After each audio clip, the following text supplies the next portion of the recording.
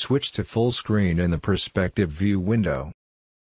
Click on the Connection tab under the ribbon menu. Turn off the Draw in Fast Mode by clicking the Draw in Fast Mode command. Click the Column Foundation Connection, Stiffened Baseplate, command. Click on the steel column at the D1 axis intersection. The stiffened base plate connection dialog will open, that defined to the steel column. Remove the stiffener's plates defined for primary and secondary direction. Click the Plates and Grout tab. Enter T20 mm as the plate thickness value under the main plate section. Enter the plate dimensions as B260 mm and H220 mm. Uncheck the grout option. Uncheck the cast plate option. Click the Anchorage tab. Enter 2 as the primary direction anchor number value. Enter the anchor interval in the primary direction D1 190 mm. Enter 2 as the secondary direction anchor number value. Enter the anchor interval in the secondary direction D2 150 mm. Click the Hole and Bolt Properties button in the Bolt Properties section. Select M12 as the bolt size and ISO 8.8 as the bolt grade. Click the OK button to close the dialog. Click on the Welds tab. Enter the values of 5 mm in the weld size lines.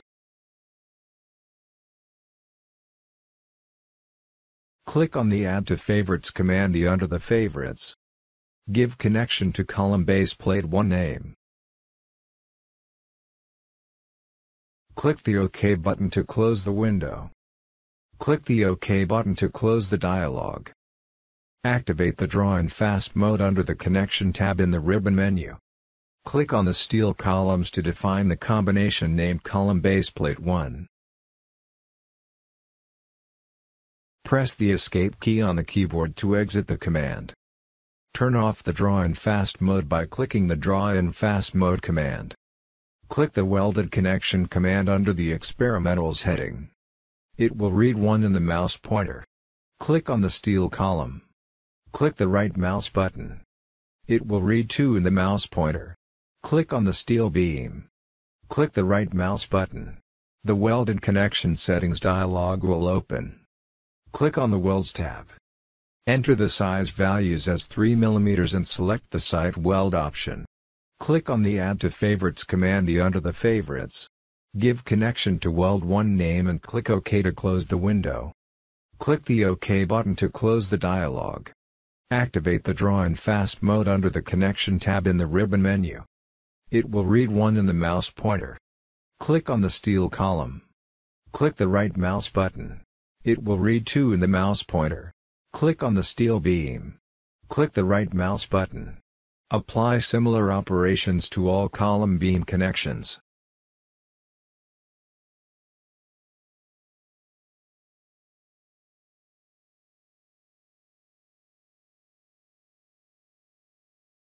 Press the Escape key on the keyboard to exit the command. Click on the Concrete tab. Click the Analysis Design command. Do you want to perform analysis? Question will be asked. Click the Yes button.